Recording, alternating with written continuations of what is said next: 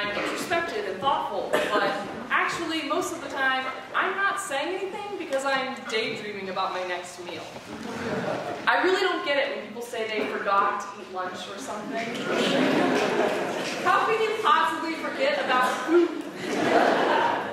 One of the first and favorite things I do when I wake up is plan what I want to eat that day. Let's see. I'll start off with some healthy oatmeal, throw in a banana, and add a tablespoon of peanut butter. Just one tablespoon. Div school is definitely the move for lunch. And, ooh, I'll get a salad from Farmstead for dinner. Perfect. Healthy and under 20 food points. Let's get to stay going. I walk into my shitty central apartment kitchen and pop my plain instant oatmeal into the microwave. Then, when my roommate isn't looking, I pull out my phone to log the calories. One serving of oatmeal, 150 calories. A banana, 89. One tablespoon of peanut butter, 95. Okay, I know what you're thinking. Calorie counting is bad. Everyone knows that. And if I'm hiding this from my roommate, one of my best friends, then that's probably a bad sign. Plus, studies show it doesn't even work. Ah, that's where you're wrong. Because I know calorie counting can work. Last summer, it helped me lose 10 pounds in two months. That's more than a pound a week. And all I had to do was wake up at 5 to run three miles before work every day, log every single thing I ate, and go to bed hungry every night. Not that bad, right? the less food you eat, the less you have to log.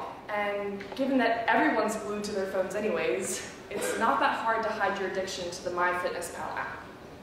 Also, it's not like I was bulimic or anything, although I can't say I've never tried that.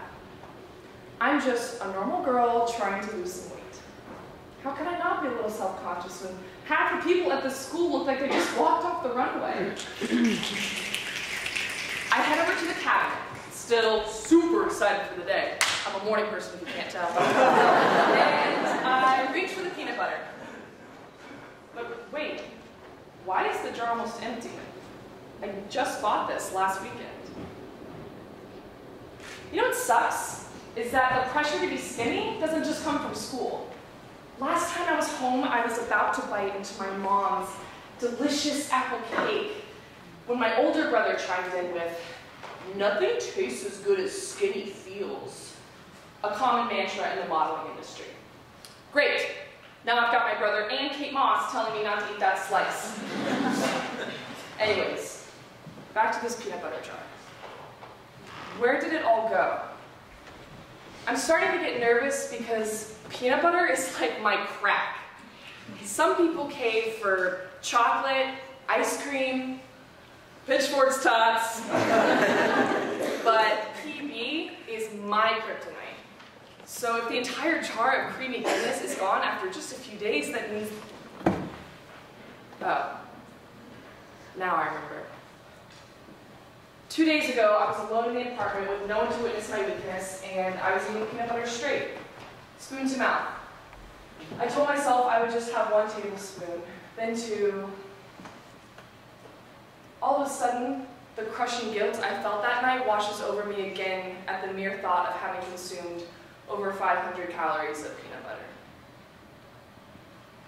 The craziest part about all of this is that I'm by no means fat. In fact, I'm a pretty healthy, thin person.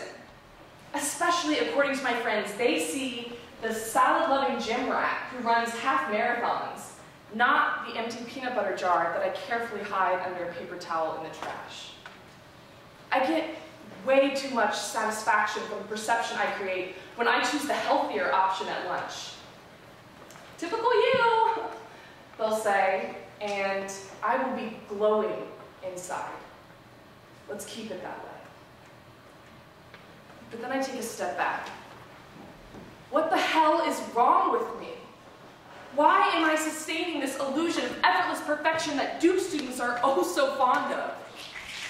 And I'm not just presenting this illusion to acquaintances, I'm trying to fake it in front of the people closest to me. Friends I consider family. Is my self-loathing and embarrassment so deeply rooted that I can't share even a shred of my vulnerability with the people I spend hours with every day? And when did I even become this person who hates her own body? I don't love my body, but more importantly, I don't love myself. And somehow, of all the ways I can make myself better, studying more, staying in touch with old friends better, going out more, I think starving myself is the easiest one. Flash forward a year to when I'm actually writing this.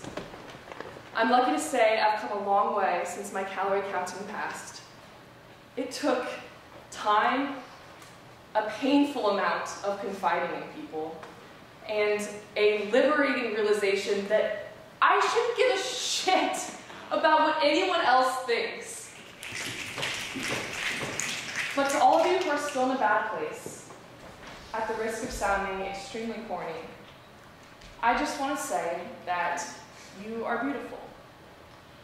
Actually, you're more than beautiful. You're hot as fuck. you are the shit. So go ahead and eat as much peanut butter as you'd like. Well, maybe not the entire. What am I saying? Do what you want.